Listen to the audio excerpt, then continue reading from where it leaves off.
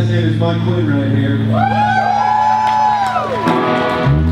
He wrote the book of the series for our set. We were also in a band together called OK Patty. A while ago, and we keep this place before, man, so, you know, we're real comfortable.